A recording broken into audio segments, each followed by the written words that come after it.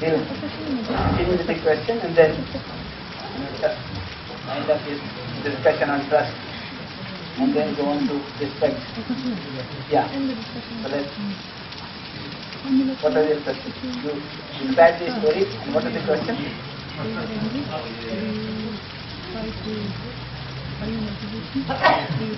The question was, it came up in our group uh, discussion.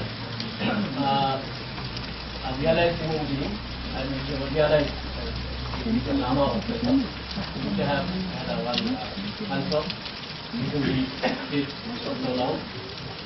After some time, the person left, the elder person, not satisfied perhaps, came back again. And this incident was reported by his disciples, where at the time of giving uh, Mama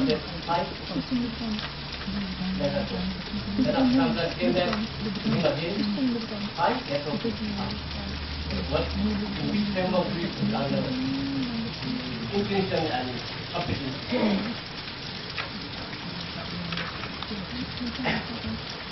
See, difficulty with this story is that, you know,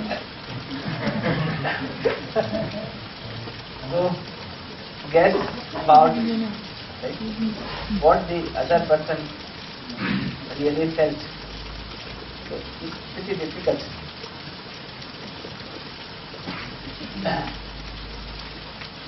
But if you have to ask for yourself, then probably it will be easier. So if you put this, you know, put yourself in this story, then this idea of relationship, except for the one relationship, which is the relationship of husband and wife, okay, which has to do with also this procreation. Which we were talking about yesterday, briefly mentioning about that. For all, for all other relationships, you would see that all these nine feelings right, are common. And it will be there in all the relationships, either with me or with the other or with anybody else. if I can see this, my concern or your concern would be to make sure that you are living in relationship with other human beings, right? with this unity. And the other person is also able to live with these feelings in relationship. Now, if you look at this in this way, you will realize that you will have this feeling for everyone. You will have the feeling of trust for everyone. You will have the feeling of respect for everyone. That will see later. Will talking about respect. So as far as the feeling is concerned, I have this feeling for everyone. But when it comes to the fulfillment of this feeling, I will ensure the fulfillment with anybody who is, you know, in immediate, you know, kind of you know, vicinity of mine. So, for example, I would have this feeling for everyone is sitting here not sitting here. But when it comes to the fulfillment of this feeling, sharing this feeling, right, I will do this with the people who are sitting in front of me. Right? So these feelings are there for everyone. The fulfillment will be as per our vicinity. Whether you are in my family, then I will ensure the fulfillment of this. If you come in my contact, I will ensure fulfillment of this feeling. If that is the case, then if you come in contact with me, I will express this feeling, share this feeling with you. If you go away from me, right, I will still have this feeling for you. So when you come back, right, I will have this feeling because it is anyway there, right, and I will ensure the fulfillment of those feelings. Right. If is how it will go. And even when you are not here, this feeling is still there in me. So there is no immediate need to ensure the fulfillment, to express this feeling. So that is what will happen. Except in that particular case of husband and wife, where it is related to this issue of progeny also. So except for the relationship with the wife or the husband, right? In all other relationships, in that relationship also you have this feeling, right? But it has a particular, you know, responsibility. But in all feeling you will have this, and you will ensure the fulfillment of this feeling, as and when the other person is in contact with you, either in the family or in the workplace or anywhere else. So that is what would happen. So if you come to the attend this workshop, it's fine. If you don't come, it is fine. If you come to attend and leave the workshop, it is fine, and halfway you come back, it is fine. My only concern is that if you come after two, three days, you may not be able to follow it. So, that's the only concern. Because everything is so connected to each other. That is, miss one session. You know, it will be very difficult for you to get along with the second session. And what you will do is you try to fill up something you know, from your side. And it may not fit. So that's the way I will look at it. But then, you know, it is better to put this story in the context of you know, your own self or you know with your relationship with the other. Then it will make it more clear.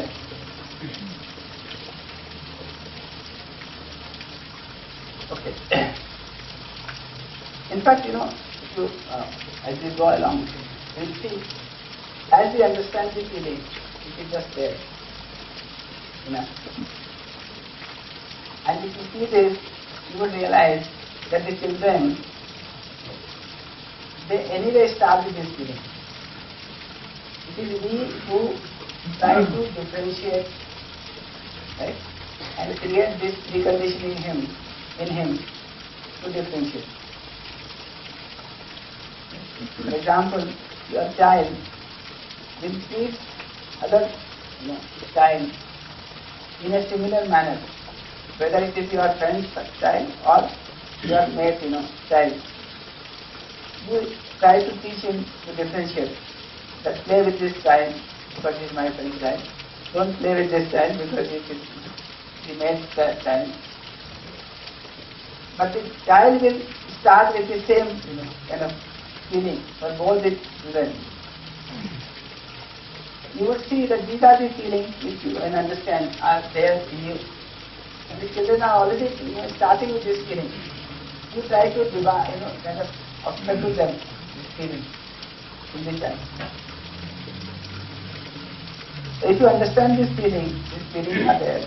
If you have this feeling, you will also see that expressing this feeling right, does not require any physical facility except for the feeling of care.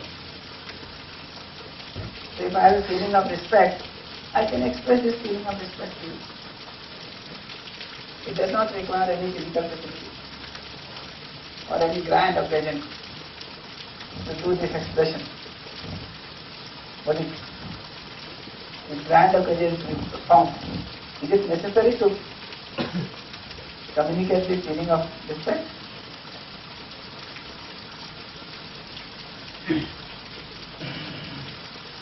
Not really.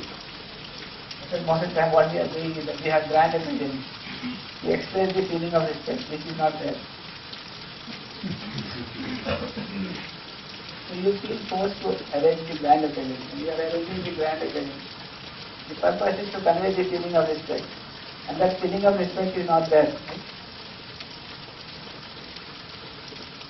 Fine. So, look at this trust and intention, this is the foundation. And if this foundation is shaking, right, then everything starts breaking down. When you was just mentioning all this example, that if you come to the class and you have doubt on the intention of the student, then any student, if he is smiling, right, you think he is smiling at you. He may be having hundred reasons for smiling, right? and it is good that he is smiling. You don't want to make him unhappy. It's such an innocent thing. Somebody is smiling. That is what we all want, right? But if you have doubt on intention, what will happen?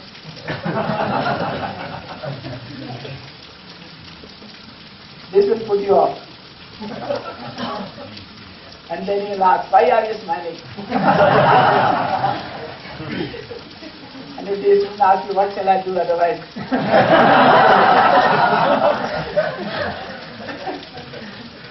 it will really put you off.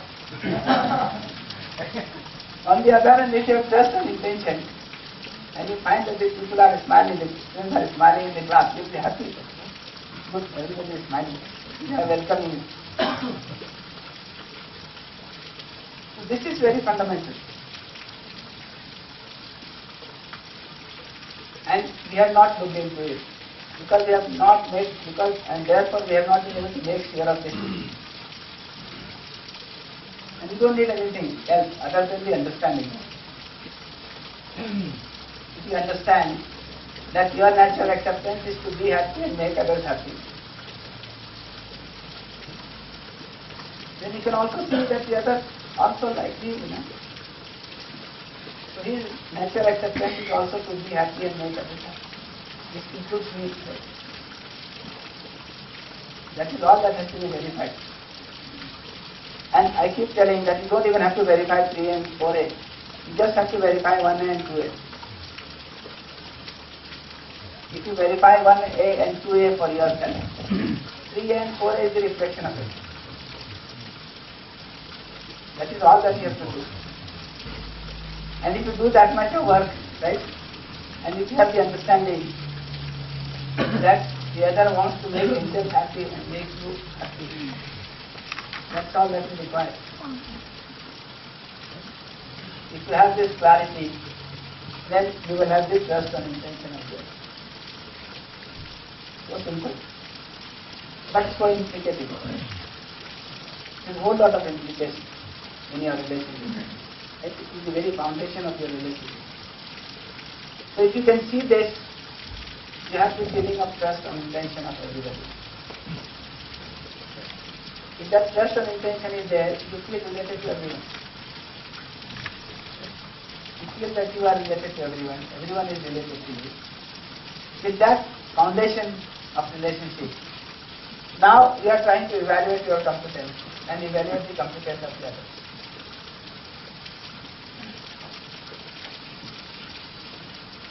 When it comes to making the program, you will evaluate your competence and you will evaluate the competence of the other and then make the program.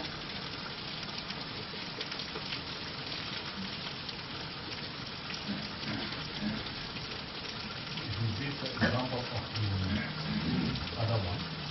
that I was, uh, the one we do the reflection of the, uh, the three A and four A, the reflection of one A and two A.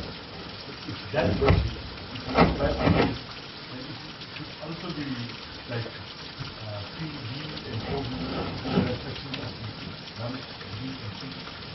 No, that is not necessary because I may have different level of competence, the other person may have different level of competence.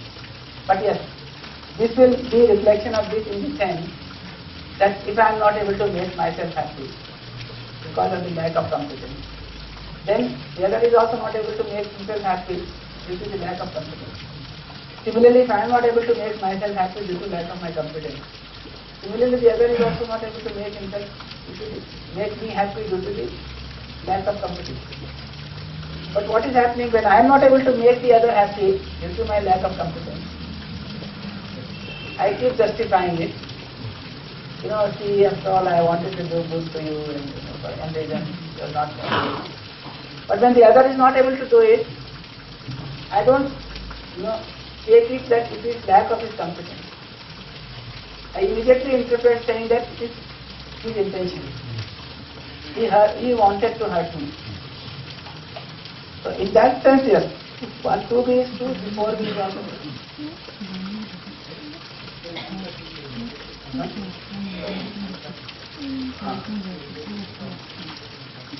Oh yes, your empathy and this empathy also has to do with your competence.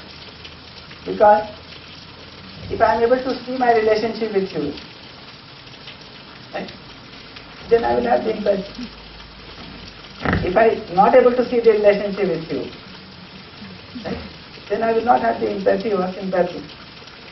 Rather, I will have this feeling of opposition.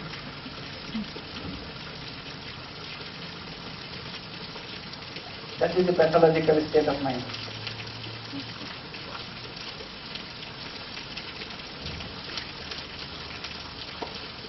You have the antipathy.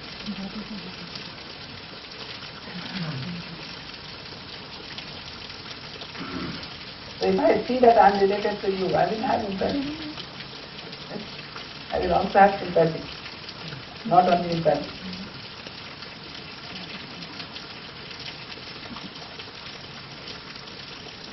Uh, this is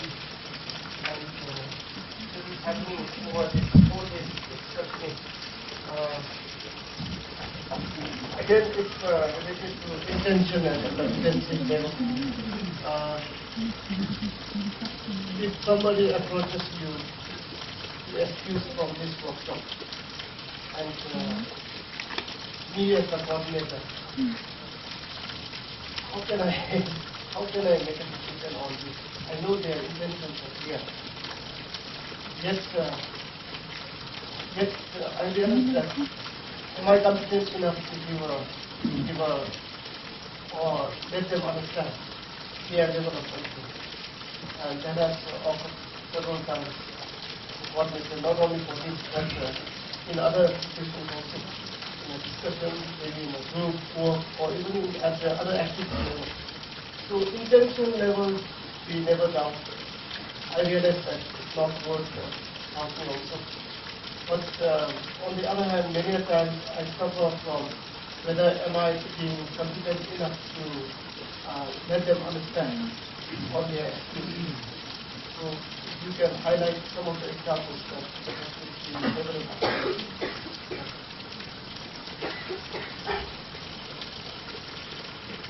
You see, this problem of competence could be there on the part of the other people and it could be there on part of myself. Right. So once I have the trust on intention, then at least this is there. And this provides the basis of relationship. If this is the basis of relationship, I would make evaluation of my competence and the competence of the other. So there is some possibility of not being able to judge this competence properly. Either my own competence or the competence of the other. That is where the whole problem would lie. So I personally would keep myself open to keep on evaluating my competence and keep on evaluating the competence of the other. So when if I have made an evaluation of my competence and the competence of the other, and therefore I am defining a program with him, right? While doing that going ahead with the program, I will continue, you know, to keep myself open for this evaluation. That is one thing. Second, in the meantime, when this program is going on, what do I do? Because there is a possibility of some evaluation of the competence which is not correct. Evaluation is not correct. Then what do I do? I am saying I will continue with the program, keeping myself open. So in the meantime I get some feedback, right, which helps me to better evaluate the competence, then I will do it. And then I will modify the program. So if you take this specific example, people sitting here for the workshop, right? Now, when somebody is sitting for this workshop, there are many issues. Right? One is that they are not used to sitting like this for a long time, right? Particularly sitting on the ground with folded legs, right? That may be a big problem, right, for many people. Okay? So we should keep that in mind. Then there are many people who have, you know, almost come to believe that they know any, everything. So they don't need any such thing. Know. That may be another reason.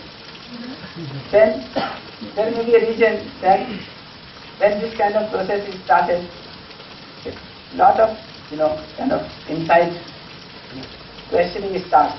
What Umesh was telling. Now the other person is so upset about it. So much of you know kind of uh, questioning is going on, and and many of these you know, proposals which have been put forward, it starts raising very serious question about your self, you know, and what you have been doing. Particularly for the old people, it is pretty difficult. Like they start thinking that if this is correct, then what have I done for 70 years? now what will happen to them? But the young people, it is relatively easier because they have you know, long time to kind of go. So all these issues may, might you know, come up.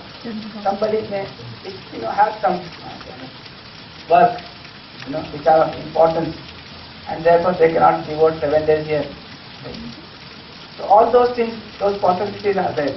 So with that in mind, okay, you have to make this evaluation. That if somebody is seeking for an excuse, right, what is the cause? And then how can you give him the comfort? Right? How can you help him, you know, to go through the workshop or there is some important work outside, you know, relieve him from it. So all those considerations, and there can be many more such considerations. I've just uh, a few. So if you keep that in mind, okay, then as I said, that if somebody is smiling in the class, okay, if I have doubt or intention, I start getting hurt about it. On the other hand, if I already have this trust and intention, then I can rightly try to interpret that rightly, you know, correctly. And, you know, do something, you know, to facilitate him. So for example, when I am conducting the workshop,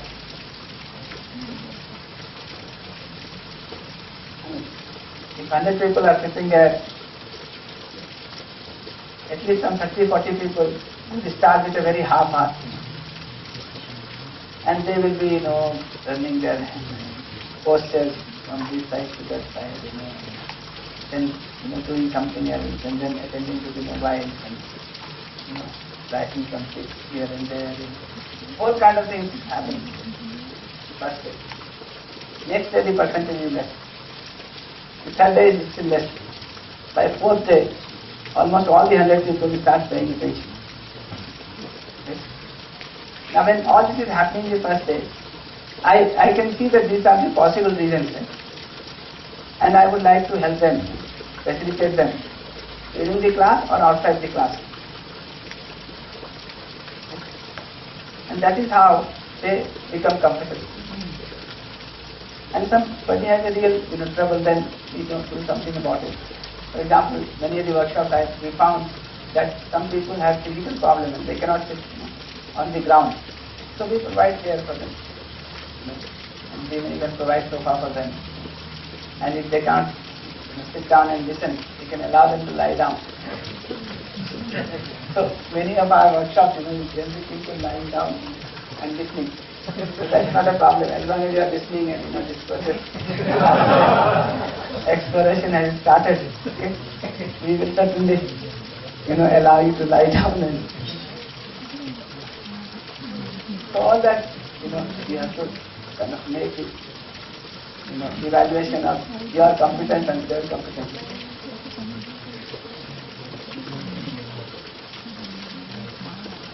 In fact, many people, for example, this place is much you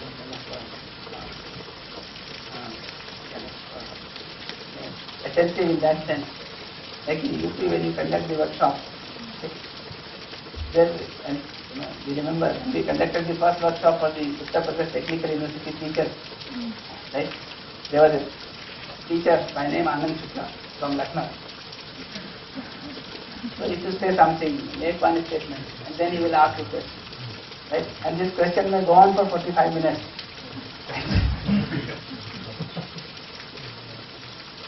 So he will make a question for 25 minutes, and I will respond in for 45 minutes in one minute.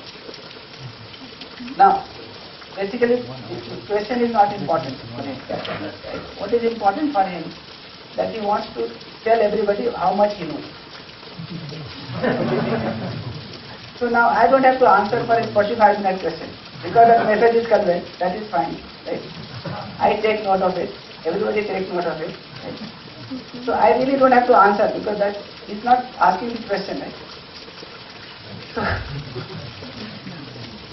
all this you have to keep in mind. here.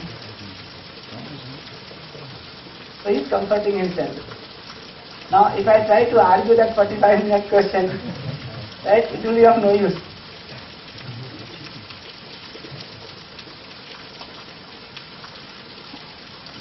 Like this 45 minute question was,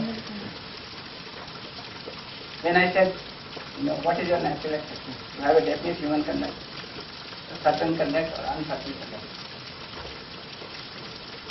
So he was forcefully arguing that I don't want a definite conduct. I don't want certain conduct.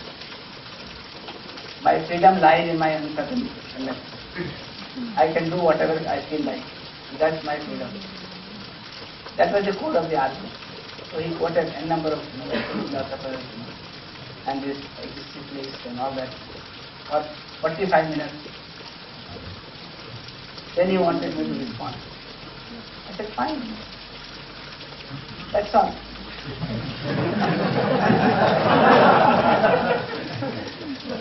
I mean, if you don't want to have a definite conduct, it is fine with me. I have no problem. Then he took another 15 minutes trying to tell me that not that he does not want to have a definite conduct.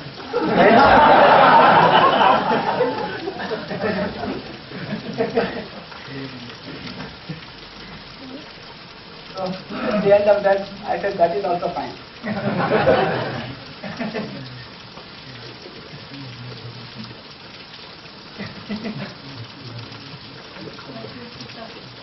Huh?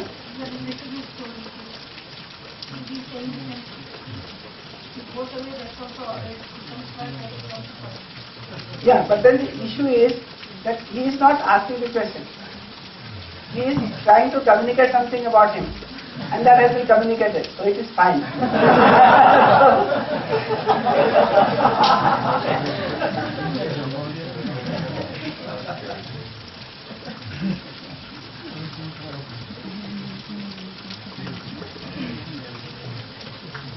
so,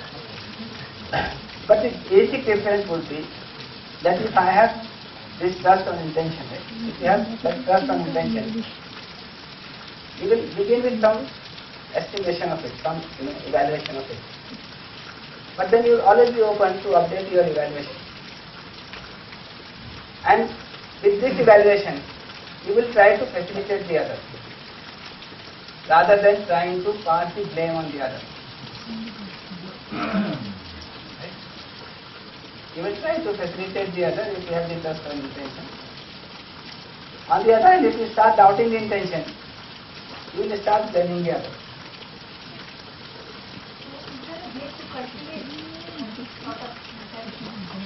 That's what we are trying to do. In fact, what we are trying to do is trying to understand the human reality. Trying to understand the human being. That's what we did yesterday.